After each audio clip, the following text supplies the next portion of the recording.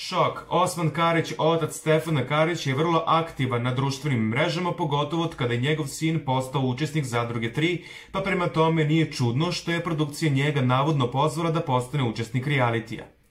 On je na svom Instagram profilu otkrio da ga produkcija Pinka pozvala u reality, ali da on mora da razmisli o uslovima ulaska, jer kako on kaže, želje su mu velike. On je napisao da neće dozvoliti da ga blate, pa je upitao šta fanovi misle o njegovom ulasku. Zvali mi iz produkcije, došlo je do erupcije, daju mi na znanje, kažu bilo bi lepo da uđe ne manje, u zadrugu na slepo kažem hvala. To je od vas slepo, mada ništa ne radim na slepo. Moram malo da razmislim jer ja ne bih od nekoga da zavisim. Želje moje su veliki kao tri Amerike, ne mislim na pare, one ljude kvare.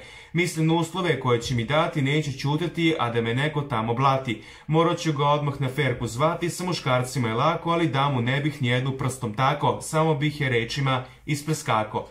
Nešto se mislim ne bih po sudicama da visim. Šta vi mislite da uđem ili ne, napisao je on.